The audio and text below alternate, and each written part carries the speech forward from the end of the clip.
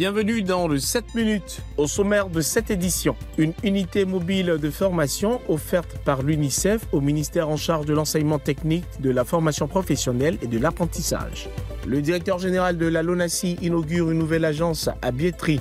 Focus sur les commodités de ce local dans cette édition. Et puis les populations de Séguéla et Mankono sont heureuses d'accueillir en permanence de l'eau potable. Nous y reviendrons.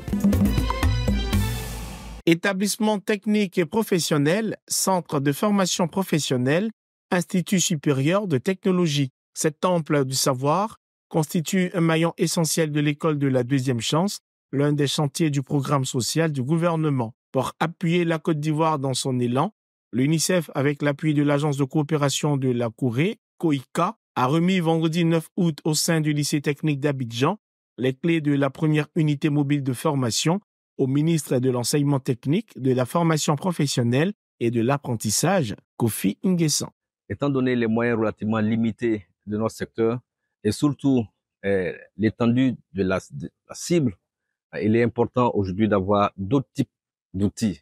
Et l'unité mobile de formation professionnelle que nous venons d'avoir est une classe mobile qui permet eh, à nos collaborateurs d'aller sur le terrain, de rapprocher la formation professionnelle de tous les jeunes. D'un coût global de 130 millions de francs CFA, cette unité est développée pour rapprocher les offres de formation des auditeurs des zones reculées et difficiles d'accès. L'engin se présente sous forme de fourgonnette ou d'un bus. Ils sont équipés chacun de sept postes de travail fixes, pouvant accueillir 14 apprenants, d'un poste formateur, d'un système de projection sur écran vidéo, d'un dispositif autonome d'énergie solaire et d'un groupe électrogène d'appoint. Nous avons euh, choisi, nous, UNICEF, d'accompagner le gouvernement dans ce sens-là à travers des initiatives majeures, des innovations qui vont permettre justement d'aider la Côte d'Ivoire à continuer à tenir ce premier rang dans le domaine de l'éducation, de la formation professionnelle.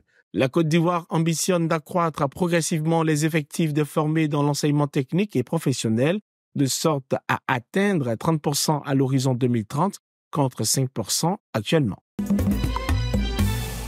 Les agences Lonassi s'agrandissent avec l'inauguration de celle de Bietri dans la commune de Marcory. Dotée de toutes les commodités, cette agence offre un cadre agréable pour les échanges avec des clients et des partenaires. Avec l'inauguration de cette nouvelle agence, la Lonassi démontre sa volonté de poursuivre le développement de ses activités dans les communes de Marcory, Koumassi, Port-Boué et Grand Bassam. Offrir un tel édifice à, à nos clients c'est vraiment dans la bonne progression de l'atteinte de, de nos objectifs. Nous avons obtenu la certification ISO 9001 il y a deux ans. L'année dernière, nous l'avons renouvelée et nous comptons la maintenir euh, pour plusieurs autres années encore. Donc, euh, en même temps que nous essayons de satisfaire au maximum la clientèle, nous assurons aussi la croissance de nos produits. Le directeur général Draman Koulibaly a annoncé qu'avant la fin de l'année 2025, plusieurs autres agences modernes de son institution seront construites pour renforcer le patrimoine immobilier de la LONASI.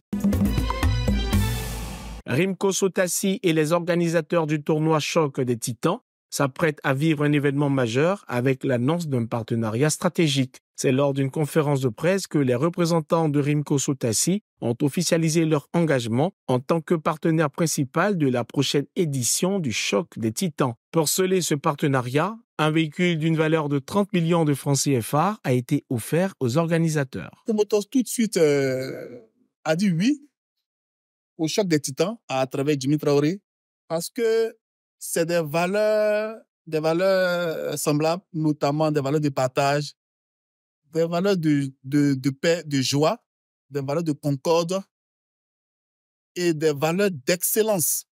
Avec Rimco, nous allons aller plus loin. Nous allons nous battre pour que cette jeunesse-là profite de l'amour que Rimco porte à cette jeunesse ivoirienne. Le, son directeur général, son président, nous, nous, nous sommes de dire merci parce qu'il nous a montré que Rimco a ces valeurs-là du travail, de l'Ivoirien nouveau, dans beaucoup de, dans les critères du sport, et comme vient de dire M. Patrick, nous avons encore, au-delà du sport, dans cette caravane du choc temps, nous avons des valeurs de santé. Le tournoi prévu pour les mois à venir verra s'affronter des champions de différentes catégories de poids, promettant des combats mémorables et un spectacle de haut niveau pour les amateurs de boxe. Pour rappel, le choc des titans est mis en œuvre en vue de révéler de nouveaux talents et de favoriser leur intégration dans le milieu socioculturel. Comme annoncé dans les titres, le problème d'eau est un mauvais souvenir pour les populations de la région du Worodougou. Le ministre Boaké Fofana de l'hydraulique, de l'assainissement et de la salubrité a inauguré le nouveau château d'eau de Séguéla. La réalisation de cette infrastructure permettra de produire en moyenne 8000 mètres cubes d'eau par jour. C'est vraiment une satisfaction pour moi, un plaisir pour moi de venir aujourd'hui à Séguéla, inaugurer ce projet qui va donner de l'eau de euh, bonne qualité et en quantité, déjà aux abonnés, mais à des gens qui n'étaient pas abonnés parce qu'ils n'étaient même pas dans le réseau, qui vont avoir de l'eau.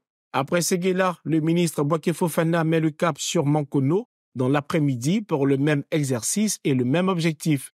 Les cadres et populations de la région du Worodougou, qui jusque-là étaient affectés par cette situation de manque d'eau potable, ont exprimé leur joie pour ce nouveau château qui est un acte d'une grande portée sociale. Un sentiment de reconnaissance envers toutes les personnes qui ont pensé à nous donner de l'eau. Comme on a dit, l'eau est source de vie. Sans eau, on ne peut vivre. Donc tout ce que Dieu fait est bon. Moi, précisément dans mon quartier, je pouvais taper au moins six, six mois, cinq mois. L'eau ne coulait pas dans mon robinet. Donc actuellement, là, aujourd'hui, là, je me lave sous l'eau.